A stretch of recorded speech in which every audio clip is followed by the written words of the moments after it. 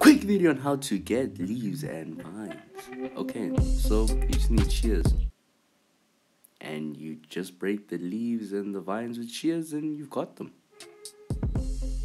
Simple, you don't need silk touch. Well, you could use silk touch on an iron, like a tool.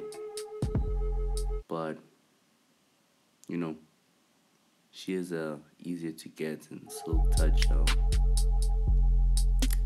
yeah